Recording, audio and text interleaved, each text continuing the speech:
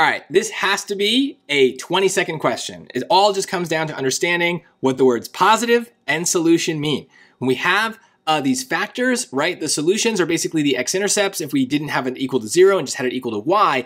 But more specifically, the whole reason we get it equal to zero is so that we can treat each of, each of these factors individually and say, okay, if there's a mini equation where x plus 2 is equal to 0, then what would be the value of x that would make that work? Well, that's negative 2.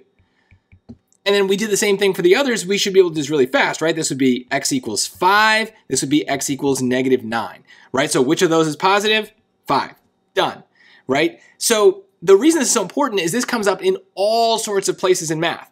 The, the one issue I feel is that we don't we learn this as an x-intercept thing, right? Why do we factor polynomials, quadratics? We do it to get the x-intercepts. But then there's so many words that kind of refer back to that same principle. We can call them roots, we can call them zeros, and yes, when we have them equal to zero, we can call them solutions. And so they're all kind of the same thing. We're not going to FOIL this thing out. We're just going to let it sit as is because it's in that factored form already. That's the form we want when we're talking about solutions. So that's the key is you've got to know as soon as they ask that, you have everything you need. It's just about reading the equation. Um, if you wanted to, you could plug this into Desmos.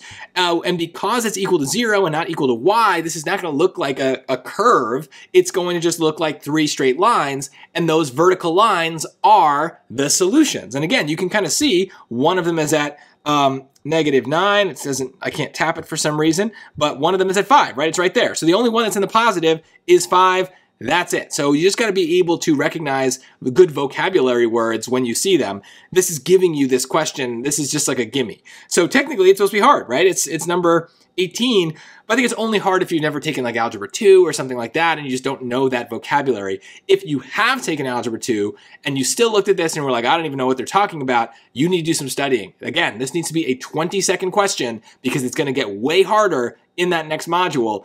And we need to understand how the number zero plays into this too, because it's going to even come up later in a question in this module. So all of this stuff really important. And if you're having trouble now, you're going to have a lot of trouble when it gets crazier in the harder questions.